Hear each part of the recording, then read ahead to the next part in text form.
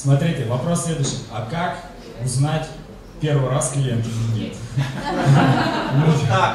Вот. Мы- да, сегодня мы с вами на конференции у Clients, и это действительно круто. Спасибо огромное, это замечательная компания, да.